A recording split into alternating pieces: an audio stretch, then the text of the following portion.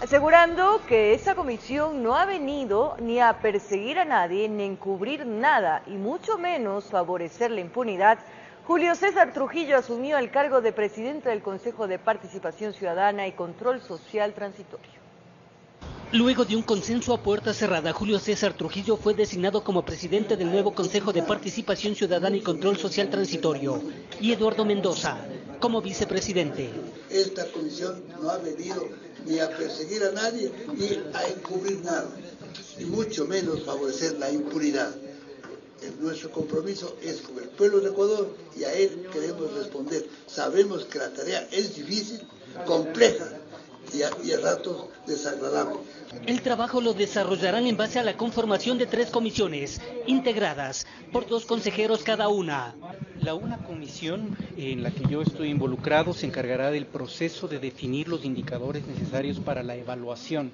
La segunda comisión se va a responsabilizar de organizar los concursos que deban desarrollarse fruto del proceso de evaluación.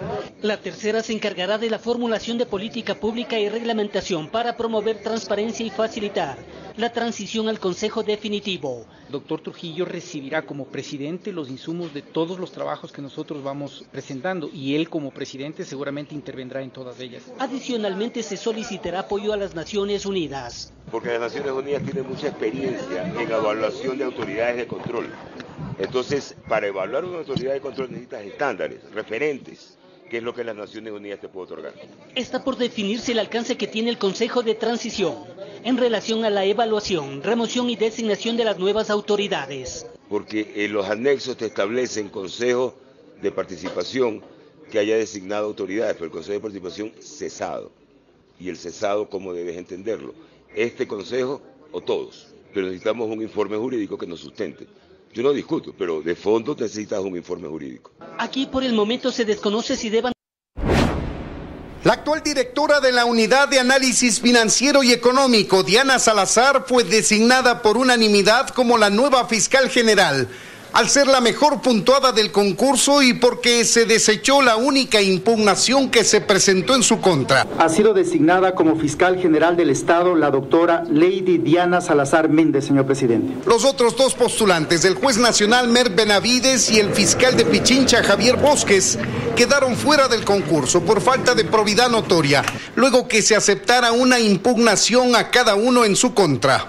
Ella es la autoridad designada conforme a la Constitución y a la ley, efectivamente es una autoridad definitiva que debe cumplir el periodo prescrito. Así las cosas, Diana Salazar quedó sola y firme para acceder al cargo de fiscal general, pues los otros dos postulantes de los cinco finalistas tienen mucho menor puntaje producto del concurso. Yo creo que eh, el hecho de que haya estado, digamos, en un cargo público y hoy que se haya designado fiscal general a la doctora Salazar no quiere decir que haya, digamos, ningún tipo de vinculación, de tal manera de que nosotros eh, al menos pensamos, personalmente creo que ella va a desempeñar el cargo de la manera eh, totalmente independiente como debe ser. Tras la designación del Consejo de Participación Transitorio, se oficiará a la Asamblea Nacional para la posesión de Diana Salazar como la nueva fiscal general,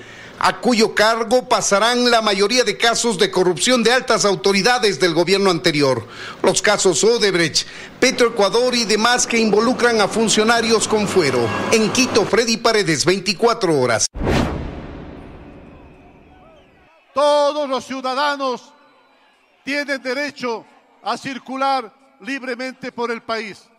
Así es que nadie debe asombrarse ni extrañarse, ni extrañarse de que un ciudadano que vive en otro país y que comanda a su grupo desde un ático venga al país.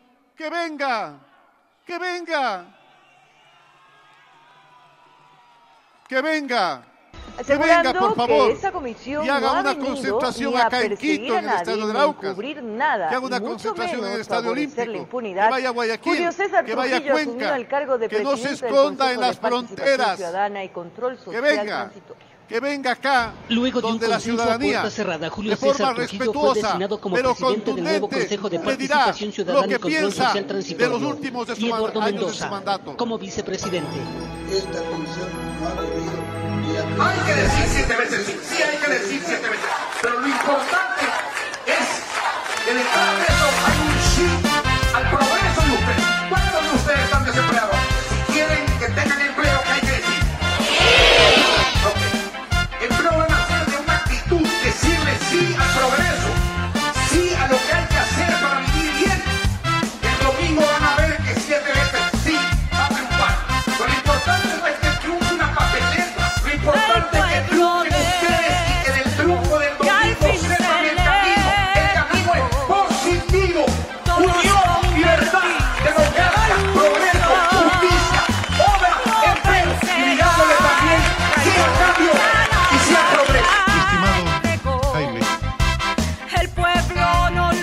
olvida Querido que amigo lo destruyó.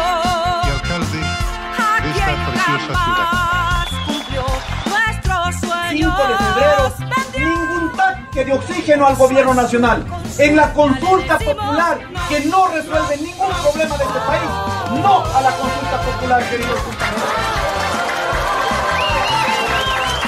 Yo les pido, queridos compañeros, el problema de la minería, el problema de la inseguridad, el problema de la democracia corrompida, el problema del sistema político corrompido, el problema, en este caso, de la fiscalía, de la justicia ordinaria en este país. No va a resolver, queridos compañeros.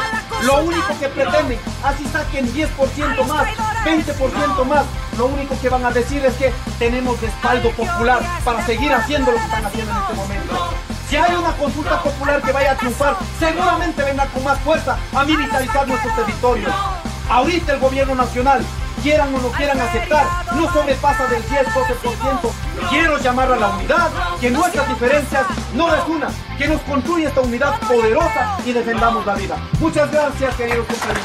No hay una sola obra, le decimos no, no, no. por inconstitucional, por la zapada croya, por la destrucción de la patria, por traidores, por la deslealtad, por la puñalada en la espalda, por la traición al pueblo ecuatoriano, por no cumplir su plan de gobierno, por no haber hecho nada que no sea politiquería, por amarrar con lo peor de la partidocracia, por no haber hecho una sola casa, por no llenar un solo bache, por no haber hecho una sola nueva escuela, un nuevo centro de salud, por no haber acabado el hospital de especialidad de Puerto Viejo.